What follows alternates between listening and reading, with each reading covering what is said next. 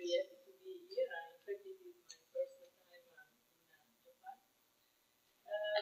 in this talk, I'm going to explain in which sense uh, Grothendieck toposes can be effectively used as a sort of unifying bridges across different mathematical theories. In the sense of objects that can be profitably used for transferring concepts, ideas, and results theories belonging possibly to different areas of mathematics.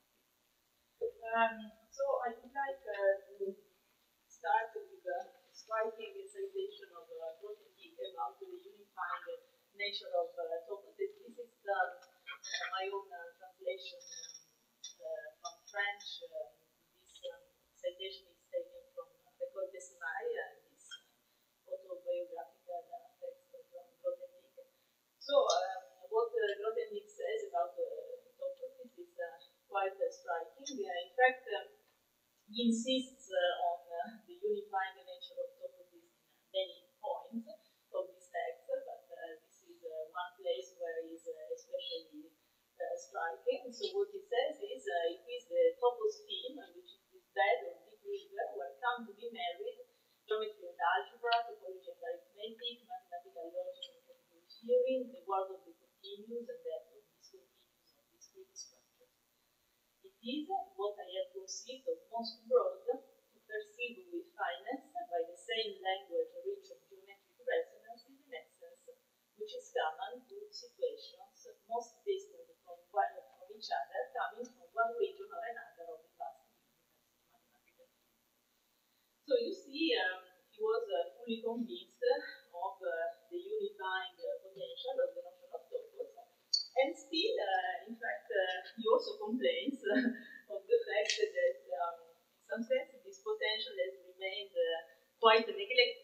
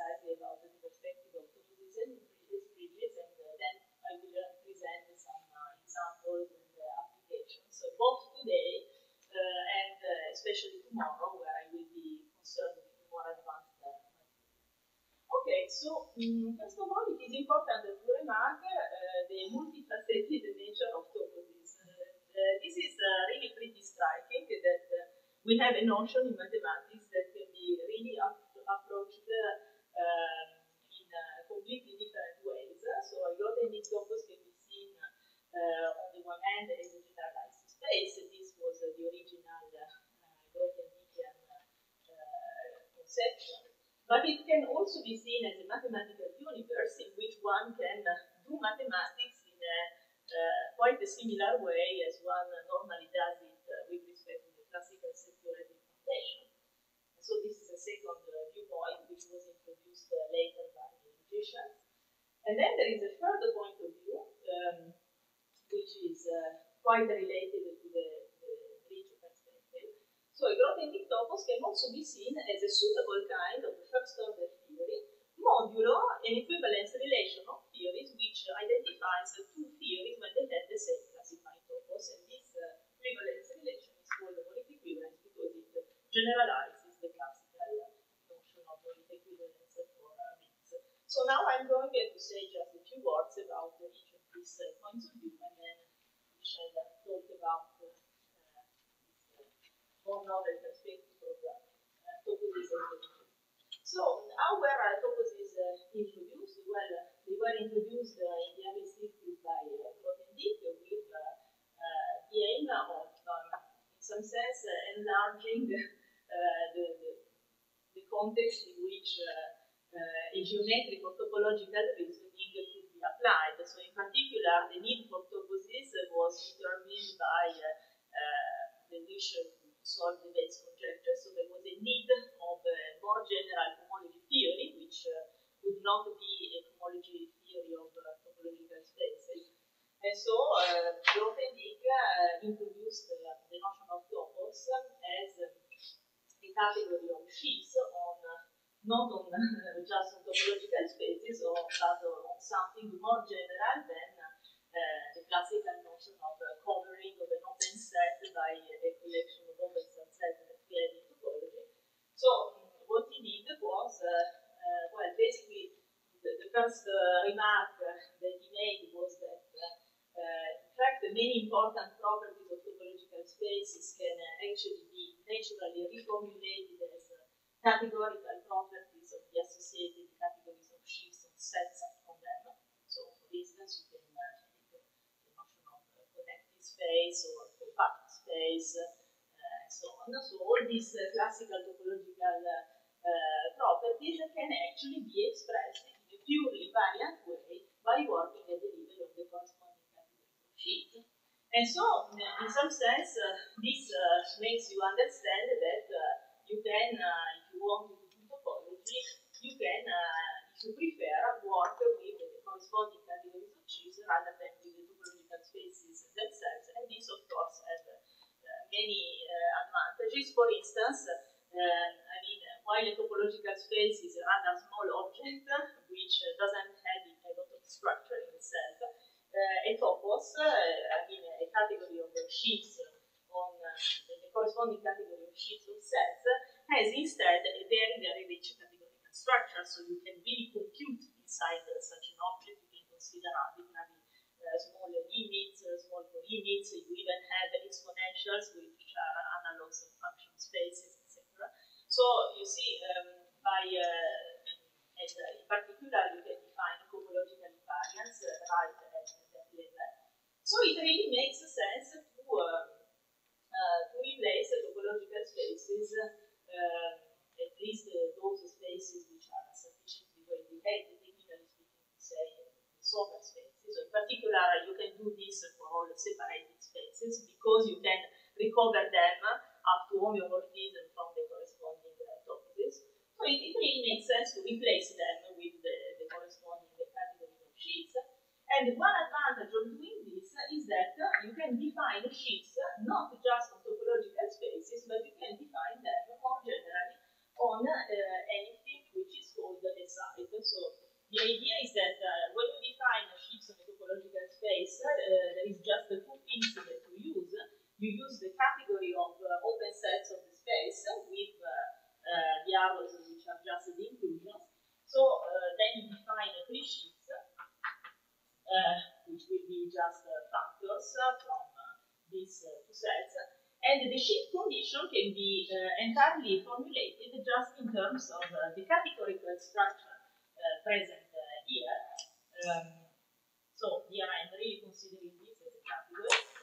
And then, of course, I need an additional ingredient to define sheaves, which is the notion of covering of, um, of an open set by a family of uh, open subsets. And notice that this, I can uh, categorically regard this just as a collection of arrows going to the same uh, codomain.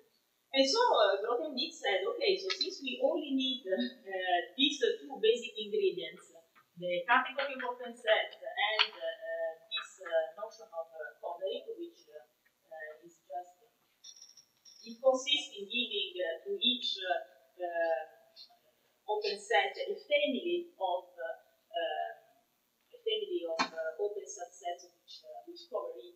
So So the idea is uh, let's replace this by an arbitrary small category C with what we call the topology, now we call it the Grothendieck topology, which is going uh, just to generalize this. So it's going to be um, just, uh, I mean, a way of assigning to each object C of the category C a collection of covering sieves on C. So this is usually like that. So what is a covering sieve on C? Well, uh, well, a sieve is just a collection of uh, arrows with uh, codomain C, which is closed under composition of the right. And um, and basically, Grothendieck required some natural for be technically well behaved. So, in particular, for instance, you want that, uh, I mean, the maximal sieve is always covering, and you also want that it take uh, an arrow uh, like that. And if you take a covering sieve here, then uh, the pullback sieve is also covering, and so on. You have the transitivity action, which goes uh, in, in, the other direction.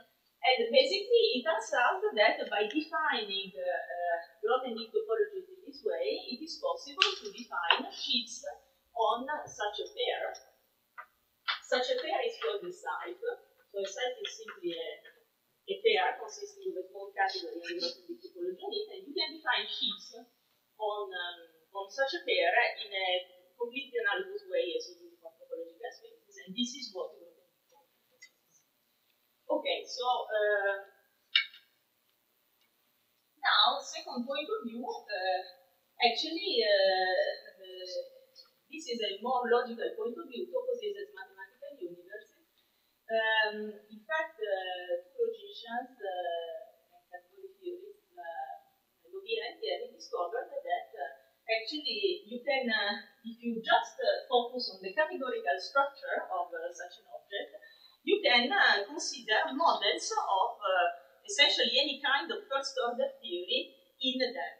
So um, this uh, works in a completely analogous way as you, as you, as you do in, in set theory. So basically a model of a certain first order theory uh, is just a way of interpreting every sort by a set and then a function symbol by a function and then a relation symbol by a subset. And so in a topos, you, you interpret each sort by an object, in the topos, every function symbol by an arrow, in the topos, every relation symbol by a, a subobject, and everything works uh, in the same way. And it is possible to do that uh, because, uh, you see, when you have um, in the first order law very complicated formulas involving the connectives and quantifiers, of course, uh, when you interpret this in the classical set theoretic framework, uh, you can do this because the set theory, in set theory, you can perform all these operations. You can take unions, intersections, and so on. And in fact, it turns out that uh, because uh, a Grothendieck topos is very rich in terms of categorical structure, you can do exactly the same thing in an arbitrary topos. So it makes sense to speak of uh, models of the order theory in, in toposes. And this is um, quite interesting because we no longer have just one fixed universe in which we can uh, uh, study our theory, but we have infinitely many universes in which we can consider models of our theories, we can change them. And in particular, it, uh, it turns out that for any first order theory of a general, of a, of a very general kind, technically speaking, a geometric theory, there will be one privileged topos, the classifying topos of the theory, which will uh, provide, in some sense, the ideal point of view for studying the theory. It will be the place where the symmetries of the theory reveal themselves in uh, the most natural way. And so you see, it is very important to be able to consider models of theories in, uh, in arbitrary so now we come to the third point of view, uh, which is exactly this, the point of view of toposes as the classifying the toposes of certain theories. Well, as I have said, many uh, first-order mathematical theory whose axioms can be presented in a particular form, this is what you require. So you, can, you require the axioms of the theory to be written in this form for all uh, uh, x vectorial notation, phi takes psi, where these are uh, geometric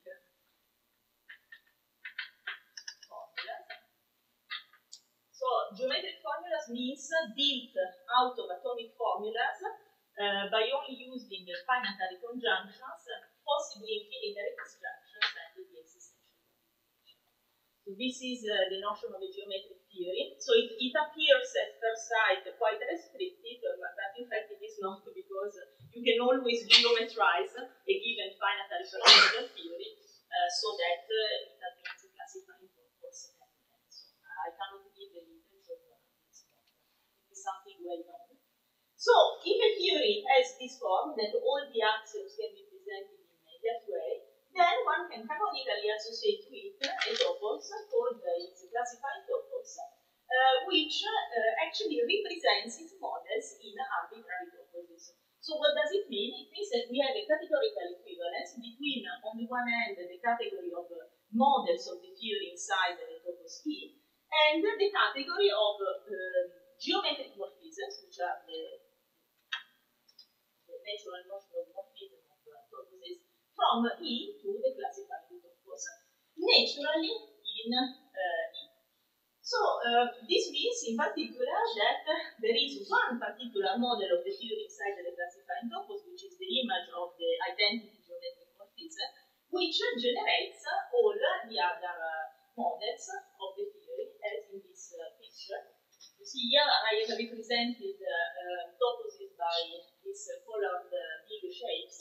So the classifying topos is the, is the yellow star there. And the models of the theory inside them are these lighter shapes. So as you can see, we have a universal model U, which generates all the other models just by applying the inverse image functors of um, geometric morphism.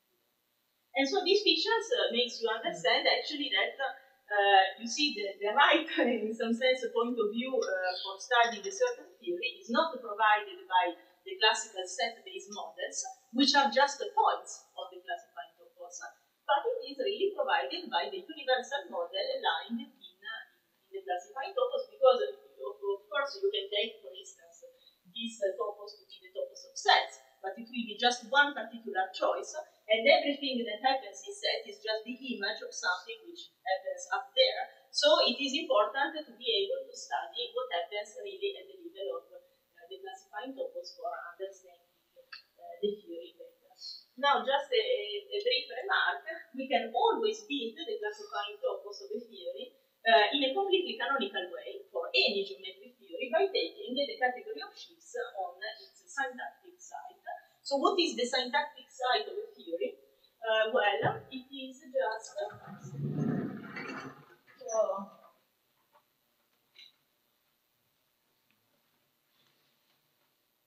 very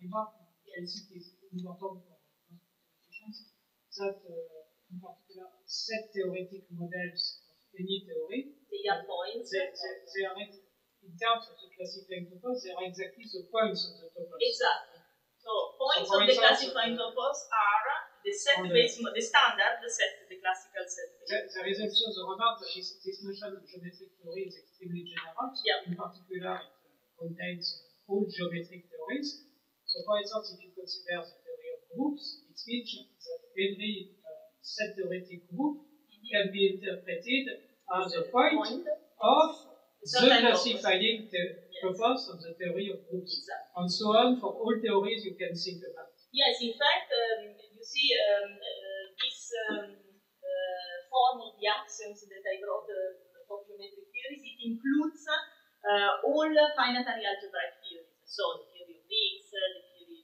of modules, the theory of groups, etc. Um, the theory of fields, uh, it is slightly um, more complicated in the sense that the axioms are not uh, of the form T equals uh, uh, S, as in the case of the others, but it is also geometric because we can express it, of course, by using a disjunction. so in fact, it is just um, uh, effect of nature that uh, most of the mathematical theories that uh, people are normally interested in, if they are first order, they, they often Eh, eh, eh, geometric, but if they are not, uh, it is always possible, possible by means of a canonical process, which is called the Morleyization, uh, to uh, construct uh, a geometric theory with essentially the same set-based models, but whose syntax satisfies these requirements. So it is possible actually to study all the, the, the theories, model theories are interested in by using this method. And here there is also an additional advantage with respect to classical model theory is the fact that uh, this logic is also infinitary. So in particular, we can take uh, infinitary disjunctions, not just uh, finitary ones. And this is useful for describing many notions. For instance, uh, the property of an element of a ring to be nilpotent, or um, um, the property of a field extension to be algebraic. You see, all these properties, they require an infinitary extension, and so we can treat them by using geometric logic, while it would be uh, much more problematic uh, to do it uh, in, classical Okay, so I was saying that we can always build the classifying terms of a theory in a purely syntactic and canonical way. So what we have to do is to um, construct the so-called syntactic site of, of a theory. So basically, this is just a site which is made up of the formulas, uh, of the geometric formulas written in the language of the theory, uh, considered in a given context. So this means that I am considering a, a finite list of variables uh, indicated by x, uh, which contains all the free variables on the formula. The free variable, for those of you who don't, do not know logic, means that they do not appear quantified. So the, the, objects, these are going, uh, these are the objects of uh, uh, our syntactic category. These are considered, of course, up to renaming equivalence. Because I, could, instead of choosing x, I could choose y and rewrite accordingly, but this is completely innocent uh, condition. Uh, so these are the objects, and the arrows are the formulas in the two set of variables which are uh, probably uh, functional. From the domain.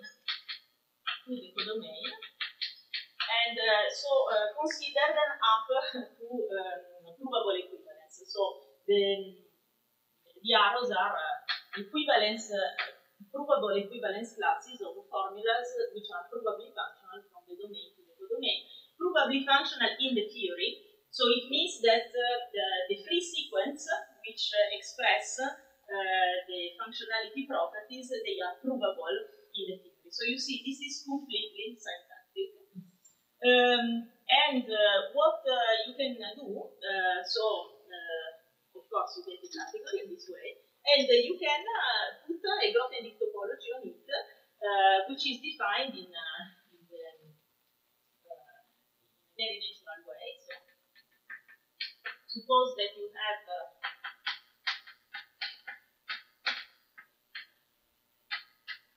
arrows like this.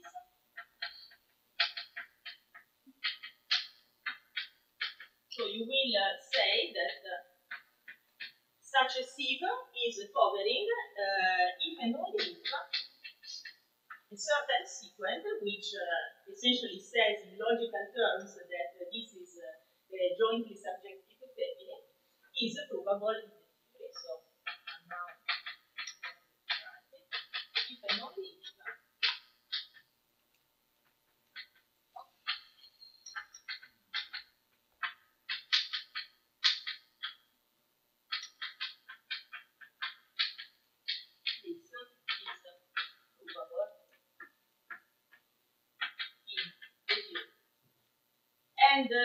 uh, and so the result is that uh, the classifying topos uh, actually is the topos of chips. This. And this um, actually is not hard to prove, but this construction is really marvelous because it is completely canonical, very general, you can apply it always. In fact, it is a generalization of the Lindemann-Tarski algebra of the propositional theory. Uh, but this, uh, you see, a first order uh, very natural generalization of that. Um, and it gives this wonderful representability result, which of course opens a lot of new perspectives for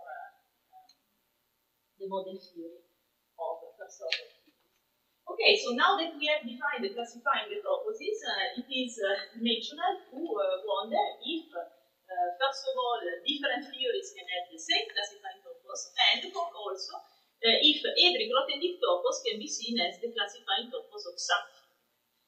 So, first question, of course, it might happen, and in fact, this is an extremely deep and interesting phenomenon, which actually is at the, at the core of the bridge technique, it might happen that the two completely different theories might have the same classifying topos. In this case, we talk of uh, Morita. Uh, it is also true that every Grothendieck topos actually can be seen as the classifying topos of some theory. Uh, this is why, this is because uh, actually the Grothendieck topos can always be presented as the category of sheaves on, uh, on a site, and uh, and for any null site uh, like this, we can write down a geometric theory. Formally, this is called the theory of uh, uh, J continuous flat factor of C, which is classified by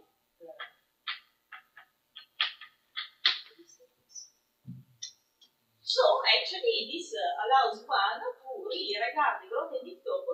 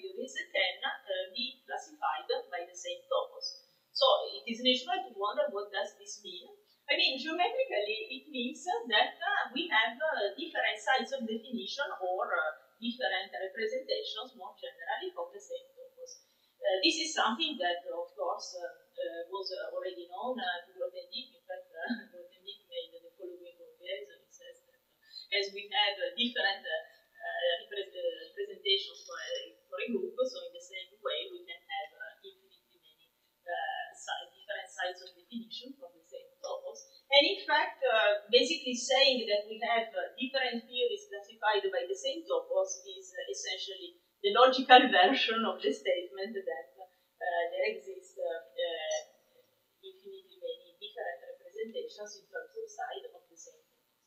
Now, in such a situation, what is natural to do is to try to use the, the, classifying topos, the common classifying topos of the pair of uh, Morita equivalent theories as a sort of bridge for transferring results across the theories. Because if you think about what it means for two theories to have the same classifying toposes, basically it means that these two theories, uh, syntactically, they could be completely different. So the languages could be completely different. But it means that they share the same semantics.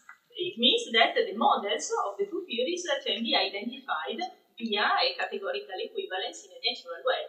So it really uh, expresses the feeling of looking at a certain thing in different ways or the same object in different languages and so on. So uh, it is something which uh, actually is at the core of many uh, important uh, phenomena in, in, mathematics. And so it makes sense to try to elaborate a circle of techniques which allow one to actually use uh, classifying toposes as, as unifying. So what do we do? actually uh, we do the, the, the, obvious thing. So we uh, consider uh, at the theoretic level. So by an invariant, I mean either a property or a construction defined for toposes, which is invariant with respect to categorical equivalence. This is important because I want to be able to regard it both from the point of view of the first representation and from the point of view of the second representation. So for any such invariant, we look at how this invariant expresses itself first in the context of first theory and then in the context of the second theory. So in more technical terms, what is going on here is that uh, we have uh, different sites of the same topos. Then we consider invariants I defined here and we try to understand how these invariants express themselves in uh, the context of the two different sites.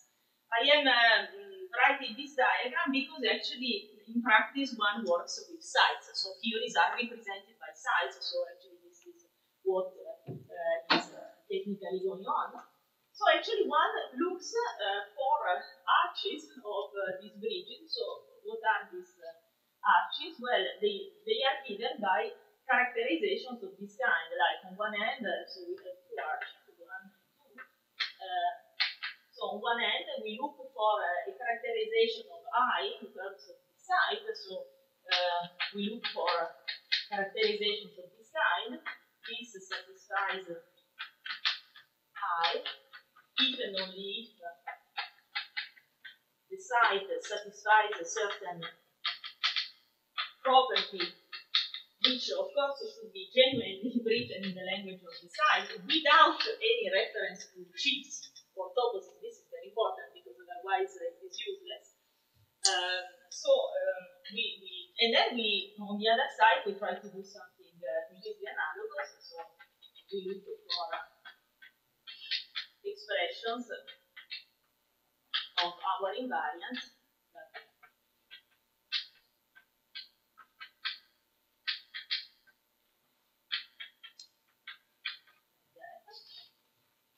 And so what will be the result of doing uh, such a thing?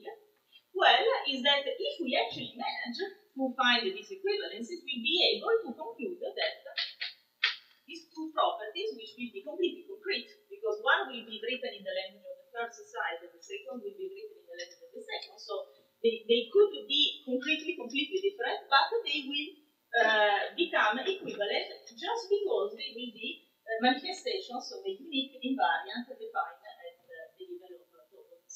And what is in interesting about this uh, is the fact that uh, even if we have just one invariant defined at this level, when we uh, study how this invariant manifests itself in the context of different sites, we might find properties which concretely are completely different. I just mentioned a couple of examples. If you take I to be the property of a topos to be Boolean, if you look at these invariants in terms of uh, of sheaves on topological space, what you get is the property that uh, every uh, open set is closed. And uh, but if you look at it uh, from the point of view of the topos of presheaves, uh, you get the property that the C is a groupoid.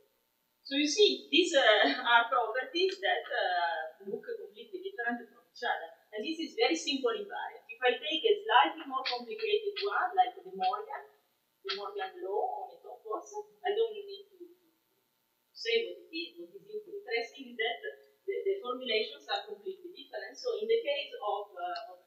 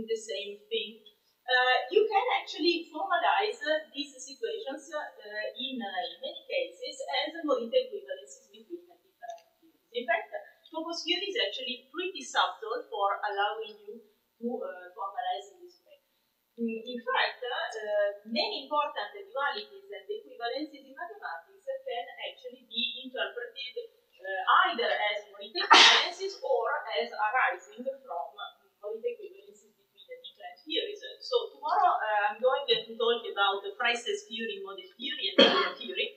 And we will see, in fact, that uh, not only the topos theoretic viewpoint will completely unify them, but it will also generalize them and allow one to uh, Galois type theories almost everywhere in, in mathematics. But uh, I mean, today I will give uh, more uh, basic examples concerning the stone type dualities. And uh, we shall see that, in fact, uh, all the classical uh, stone type dualities can be obtained out of theoretic bridges, and that the theoretic viewpoint allows one to get more complicated dualities that would be harder to establish without having, in some sense, a machinery behind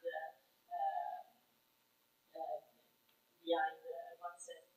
Uh, so it is also important to remark that uh, topos theory itself is a primary source of Morita equivalences because, as we have remarked, uh, having different sites of definition for the same topos actually amounts to having uh, different uh, theories classified by the same topos since one can attach, as we have said, uh, to any site a theory which is classified by the corresponding purpose of Shipsman. so actually, it turns out that the topos theory itself, as a subject, can allow you to discover new dualities. And in fact, uh, in my work, I have uh, generated many new dualities just starting from the, internal techniques um, in, in, in topos theory for, uh, so for starting from representation theories, uh, theories for toposes, and and so on. um, an important point that, uh, that I also would like to make is that uh, any dictionary between uh, two theories, by a dictionary I mean technically speaking for logicians, I mean bi-interpretation. So what do I mean? I mean any way that you have of assigning every formula in the language of the first theory a formula in the language of the second theory in such a way that you get a syntactic equivalence which induces an equivalence at the level of models. So of course, when you have uh, such a situation, you always have a Morita equivalence. It is pretty trivial. Uh, because actually having a bi-interpretation means that the syntactic categories of the two theories are equivalent. And of course, if you have such an equivalence, then uh, uh, since uh, the syntactic topologies are defined intrinsically in terms of the categorical structure of the syntactic category, I will be able to conclude that the classified topologies are equivalent. But uh, what is uh, really interesting is that, uh, in fact, most uh, equivalences are not at all in this form. And this is interesting in relation to the translations that uh, the bridge technique allows one to realize because, see, when you translate things across bi-interpretation, you will not really change the shape of the results in a significant way because, you see, if you have three formulas on one hand, you will have three formulas on the other, and you are just going to rename things. While uh, when you do these topos-theoretic translations, the properties uh, can uh, really, as we have already remarked, change significantly. Okay, so now um, I would like just to Uh, go more uh, into the uh, into the technique. um, by focusing on two special classes of theories that, uh, in some sense, come naturally to the attention when one takes the point of view of uh, the classified topos. Because since, I mean, every geometric theory has a classified topos, it makes sense to, some sense, organize theories according to the type of topos they are classified to. So there are two uh, particularly important classes of geometric theories that it is naturally uh, natural to investigate. On the one hand, we have the theories of presheaf type, which means classified by a topos. And on the other hand, we have the theories of Galois type, which uh, are those classified by toposes of continuous actions of a topological. Why do I uh, single out this uh, of course, these are just two notable classes, and of course there are infinitely other important classes of theory. But um, in these uh, two lectures, I would like to focus um, uh, mostly on uh, these two types because are quite representatives of um, the kind of insights that topos theory can bring into the study of theory. Because in some sense, they are extremal classes uh, with respect to uh, a natural ordering on theories that you can have uh, when you fix a certain signature. You see, suppose that you fix a language. You mean a language. Yes, it means a language. so sorts, function symbols, and relation symbols. Uh, so of course, uh, when you fix uh, such a signature, you have a natural ordering between theories. You say that one theory is uh, less than or equal to another if every axiom uh, of the first theory is provable in the second theory. And uh, so you can wonder what are the minimal elements, what are the maximal elements with respect to this order. Well, for instance, theories of Galois type, they are always maximal theories, in the sense that you cannot extend them anymore. So any extension will be trivial. Either you, you go into the contradictory theory or you stay in the theory itself. So, and this is essentially... You, cannot add axioms. Yes, you cannot add any axioms. Yeah. Uh, and this is connected to the logical uh, phenomenon of completeness of theories, but we shall talk about this uh, tomorrow. Uh, for the moment, I would like uh, to say a few words about the theories of presheaf type, which are very important because, in some sense, they stay at the other side of the spectrum. They are the simplest theories from which any other theory can be obtained. Uh, for instance, you said the empty theory over any where you don't put any axiom, and this is a theory of presheaf type.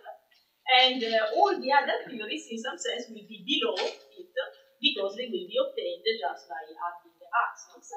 Uh, and this, of course, reflects the fact that every every Grothendieck topos is a subtopos of the presheaf topos. So you see, it is uh, when you want to study toposes uh, as represented in terms of sites, well, you know very well that uh, in some sense the fundamental toposes are uh, the presheaf toposes, and these are the toposes of sheaves on, on a site. They can always be seen as subtoposes. Okay, so this means that we have a geometric morphism, uh, subtopos morphism, whose direct image is the inclusion, and whose inverse image is the associated sheaf functor. And it is very important to consider this uh, morphism because it uh, uh, tells you in particular how uh, the category C is related to a corresponding topos of sheaves because here you have the Venetian embedding. And then what you do, if you want to go from C to the corresponding topos, is you compose with the associated sheaf functor. So also this is very important, we are going to use it. Uh, remember, uh, and so you see, uh, since every Grothendieck topos is a subtopos presheaf topos, it makes sense to uh, study the theories which are classified by this topos, because any other theory actually will have a classifying topos which is a subtopos of, of this. And in fact, uh, as I have shown in my PhD thesis, uh, the subtoposes of the classifying topos of the geometric theory are in natural bijection with uh, the theory extensions of the theory remaining in its language. So actually it is quite intuitive the more axioms you put, the finer the topology becomes. Because in fact, eh, additional axioms correspond to additional covariances. And so, okay, so now let's eh, eh, say a few words about the theories of the type. A very important uh, thing that uh, is important, uh, a very important thing that is interesting to remark is the fact that in fact theories of ratio type can really be seen as the logical counterpart of small categories. I mean, um, I said that every topos can be seen as the classifying topos of some. So this means, in some sense, that uh, there is always a syntactic uh, representation of any topos available. Because uh, uh we have seen that uh, any the classifying topos of any geometric theory can be represented in, a completely syntactic way. So this means that even if your topos comes from algebra or geometry or analysis, you can always study it by using logic, if you want.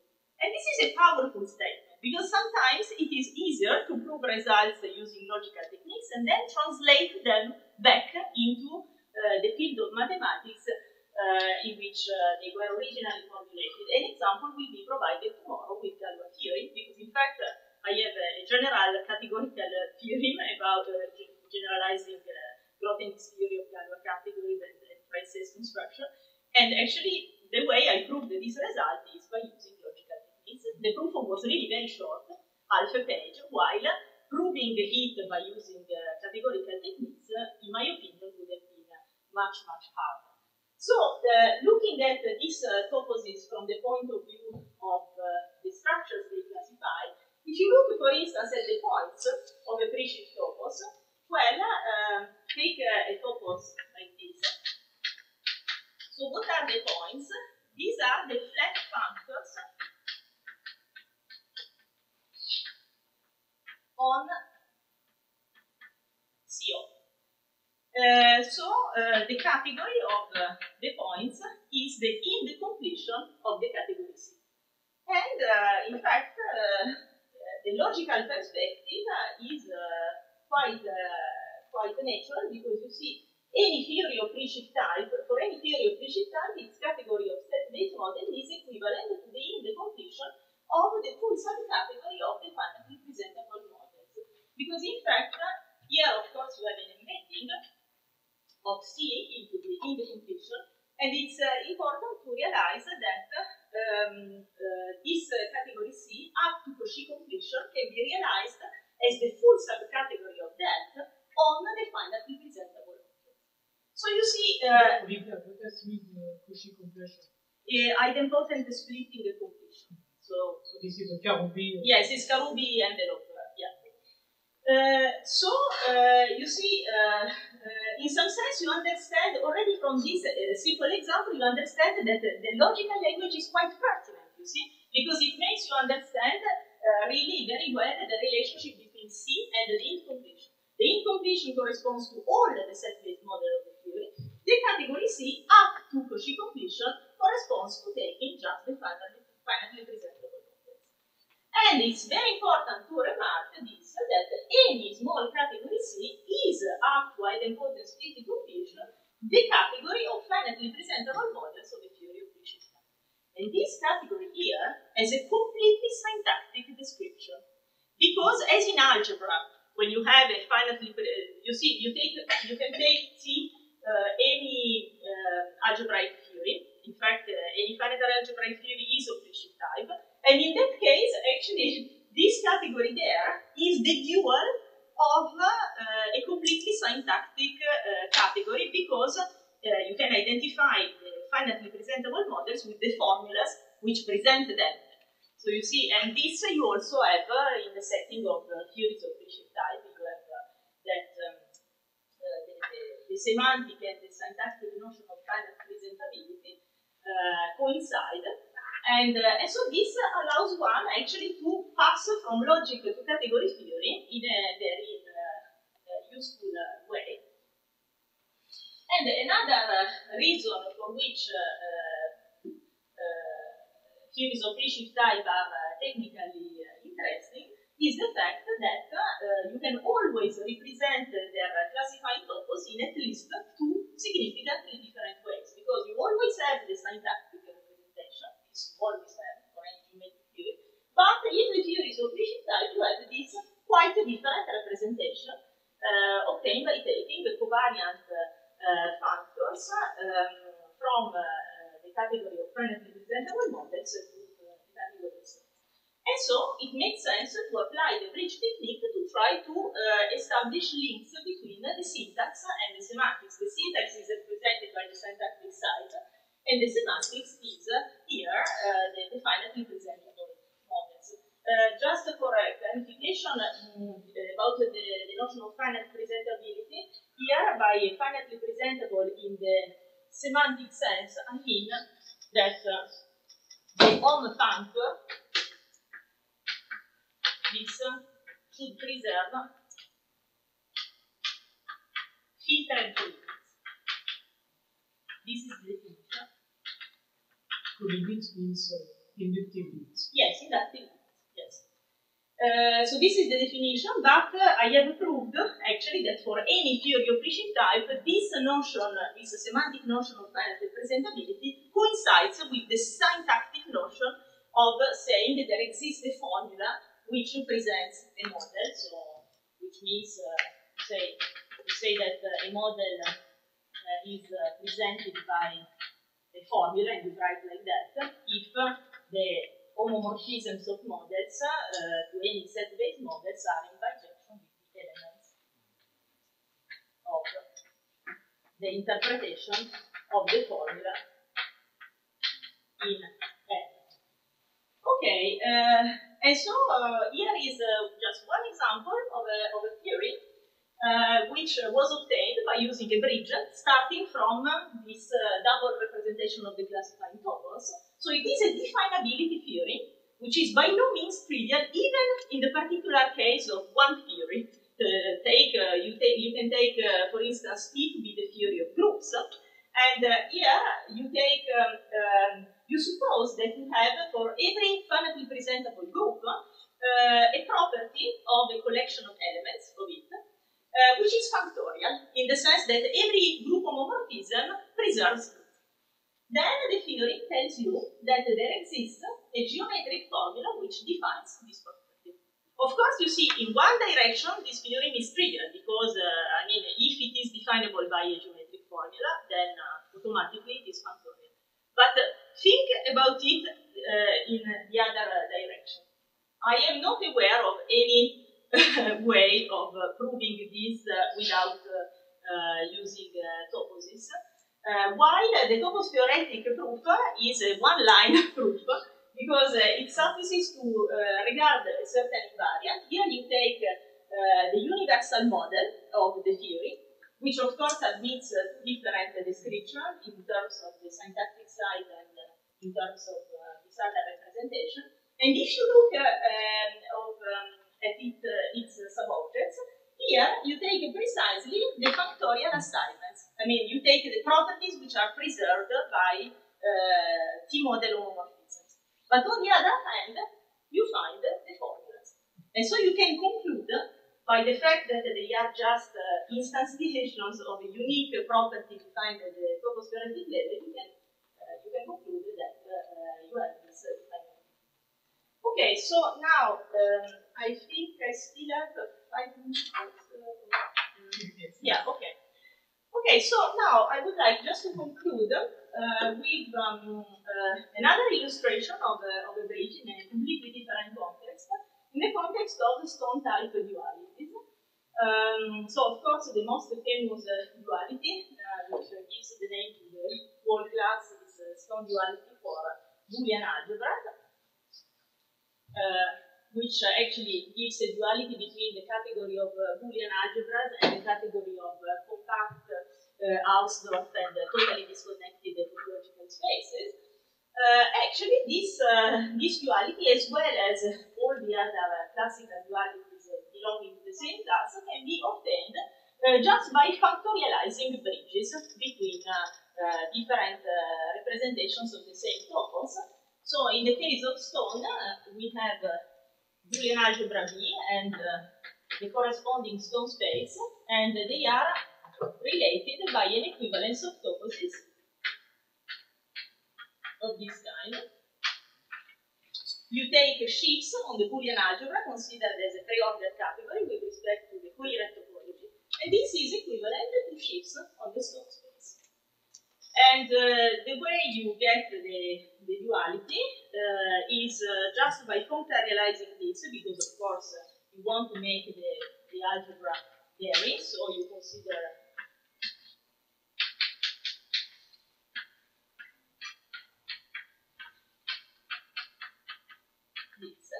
And uh, so uh, you use the theory of morphisms of sites to get uh, morphisms at the level of toposes. So here, uh, of course, a Boolean algebra homomorphism is a morphism between the sites, so it gives uh, a morphism going like that. And this, of course, transfers to a morphism here, and then you actually exit the bridge. Uh, because since these spaces are sober, every geometric morphism here comes necessary forma e continui master between these spaces. And so this is how you get it.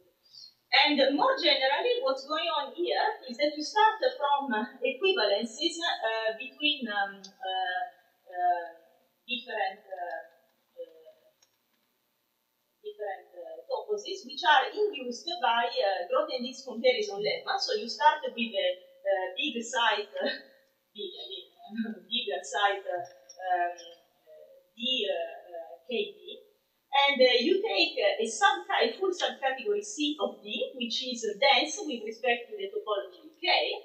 Uh, dense means that every object of D can be covered by objects coming from the subcategory. And then uh, this, uh, uh, this theory tells you that the two toposes are always equivalent. and so this is the setting, actually. And what you, you do to get dualities is, first of all, you define appropriate Grothendieck topologies on uh, your posets which uh, capture the interesting lattice theoretic features of the, of the, of the, of the poset. You see here, one wanted to capture the existence of finite joins in this category, and so this is why you, uh, we put the coherent topology. But suppose that you have just, I don't know, a discrete set. In a discrete set, you take the trivial topology if you take a pre-frame, for instance, in which you have only directed joins, then you take the directed topology. If you take a frame, then you take the canonical topology, and so on. So you uh, attach natural Grothendieck topologies to your structures, and then you use uh, uh, the theory of uh, morphisms of site, either in the covariant or contravariant version, to uh, get uh, geometric morphisms between the corresponding toposes. And then uh, the crucial point is uh, to be able to recover uh, um, your structures uh, from the corresponding toposes by using uh, suitable topos invariants. Because of course, uh, you see, if you want to build these bridges and not just enter a bridge but exit it, you need to be able to recover the structure from the corresponding topos. Of course, uh, so this means in particular that all your topologies will need to be subcanonical, but of course this will not suffice. But I have proved that if the topologies can be uniformly described by using a certain invariant C of the families of subterminal objects in topos, then one can actually recover uh, the, the elements of the structure uh, from the topos as the subterminal objects which satisfy a compactness condition relative to this invariant C. So if C is to be finite, it will be the usual compactness. If C is to be arbitrary, it will be uh, just uh, uh completely vacuous. Uh, if C is, uh, I don't know, to be a singleton, it will be super compactness. If C is to be directed, it will be directed compactness. So here is an example. So Boolean algebras we have already talked about, but uh, here is another uh, uh, example of a duality which I have obtained. For um, so it is a duality which extends known dualities for algebraic lattices and super-semi-lattices. Uh, so if we take, for instance, a pre-frame, which is generated by a directedly, uh, which is generated by its directly compact elements, uh, then the comparison lemma gives us an equivalence of this kind. And uh, by functorializing, actually, so we can functorialize, functorialize in different ways. We can functorialize, for instance, um, contravariantly at the level of uh, uh, the preframe and covariantly at the level of uh, this poset. Or we can also try to, um, so in this way we get a, a, duality between larger categories, which include on one hand algebraic lattices, on the other hand sub-semi lattices. Uh, otherwise, uh, if you want to get uh, the, the classical duality, then you have to, to functorialize contravariantly on both sides. But in any case, I mean, this is just meant to be an illustration of the flexibility of this technique. As you can see, you have various degrees of freedom in choosing the topologies, in choosing um, the, the way you can um, uh, functorialize and so on. Um, so, um, so I will uh, now uh, stop here Of course, I would like to mention that this paper uh, here, of course, contains uh, dozens of examples of dualities, both old and new, uh, which uh, can be obtained through this uh, framework. And I mean, if you are interested about the general perspective of toposes and bridges, the most recent text that I have written uh, my habilitation thesis, uh, which I recently defended in France. And also there is a forthcoming book uh, about this, which uh, will uh, appear in, uh, in, in June. Uh, but tomorrow I'm going to um, to present more significant examples. so this thing of Stone type dualities was just meant to be a toy model to get you used with this methodology, but tomorrow there will be deeper results, but still obtained in the same. Okay, so I'll stop uh, here. Thank you for your attention. Thank you very much. Are there any comments or questions?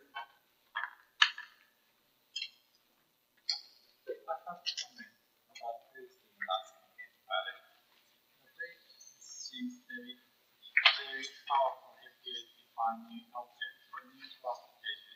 Here the candidate of infinity and infinity many, so the rate of classification is also many. And the uh, uh,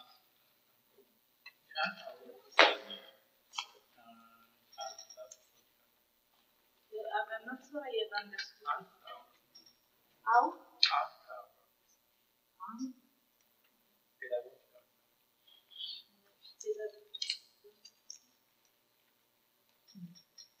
Didn't Can you repeat your second point, please? not, not, not a question. Ah, not a question, just a comment. Okay. Yeah. Sorry, I didn't. uh, yes.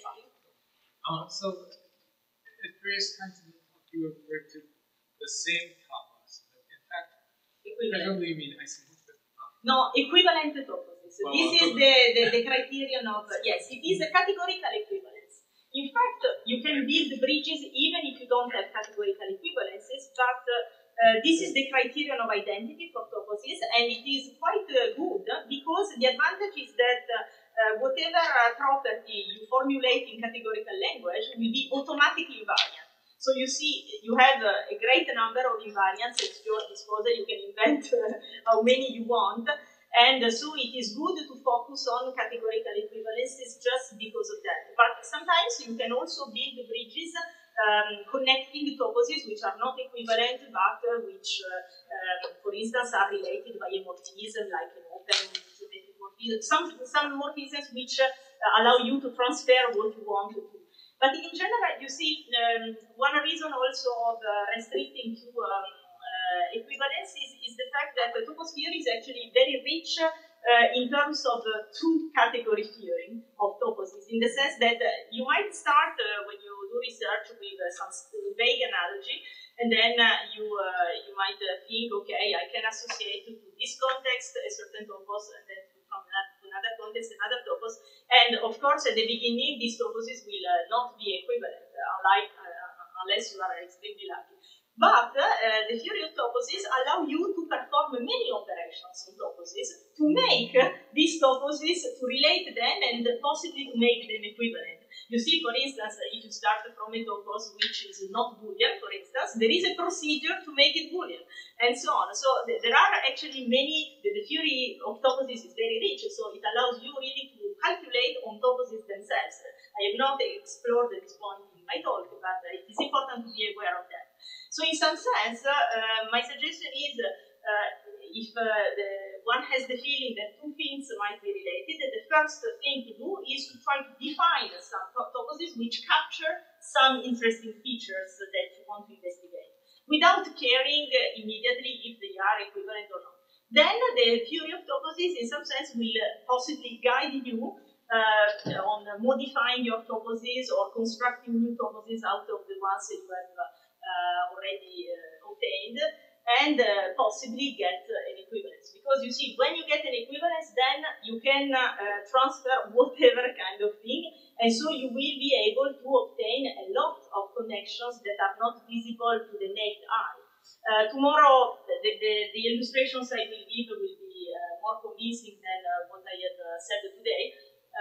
but um, the, the, point is that even very simple invariants can really give rise to uh, huge surprises and, um, and uh, deep results.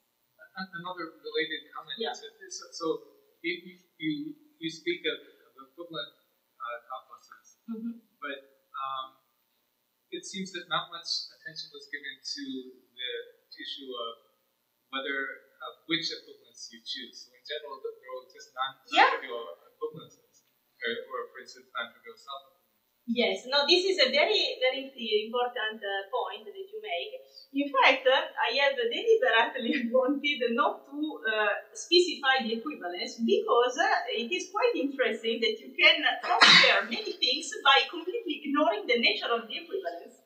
Uh, especially if you are interested in global properties, you see, properties of the topos. Sometimes you, you see, for instance, the property of completeness of a logical theory, uh, you are interested in the whole topos, and uh, so you don't care which equivalence you have. Of course, if you want to work with objects inside the toposes, then of course, uh, I mean, you have to take a more local point of view, and of course, you will need to know the concrete description of the equivalence, or at least the action of the equivalence on the particular object under consideration. So it really depends, I mean, on, on what you want to do. But what I find uh, pretty striking is the fact that in uh, many situations you don't even need uh, the, the, the, to, have uh, an explicit description of the equivalence. What really matters is the fact that uh, the two things satisfy the same universal property, and so they are indistinguishable from the point of view of the classification result.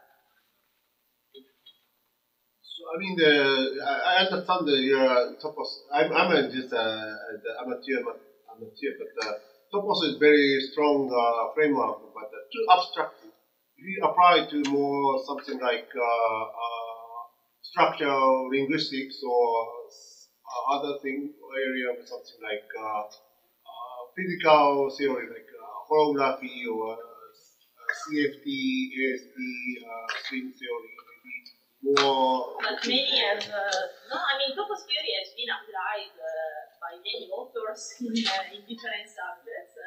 Uh, of course, this is, uh, in my opinion, nothing uh, with respect to what could come in the future.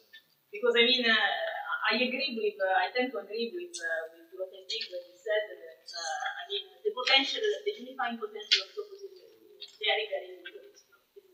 Uh, but this doesn't mean that people have uh, not uh, done very valuable works in different directions. So, opposite, they have been applied in physics, even though, I mean, I wouldn't say with spectacular applications, but I think one uh, basic uh, issue with uh, toposes is that um, some, uh, some people from uh, the, the older generation have taken a point of view uh, that separates toposes with sites, which separates toposes with the, from their presentations.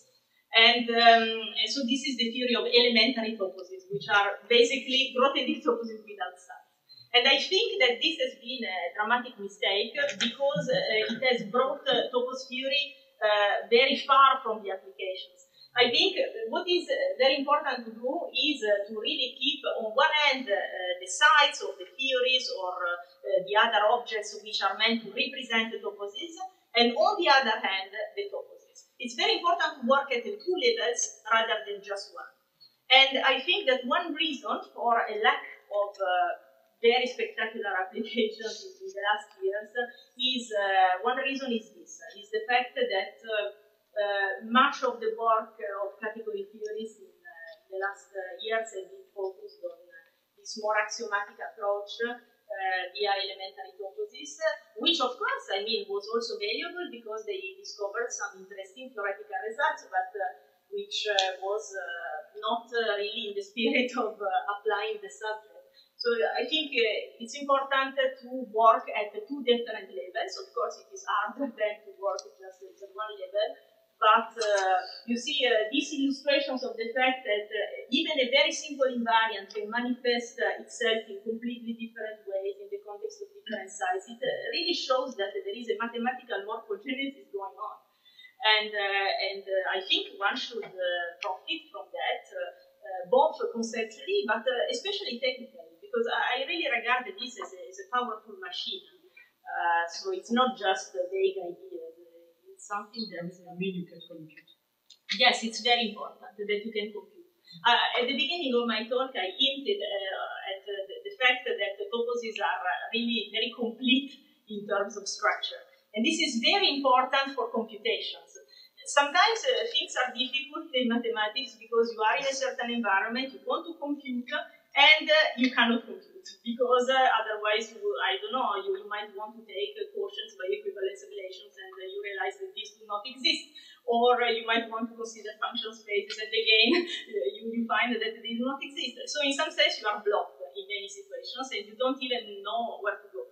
Uh, in topos theory, this doesn't uh, happen because if you are inside the topos, whatever computation you want to do, you can do.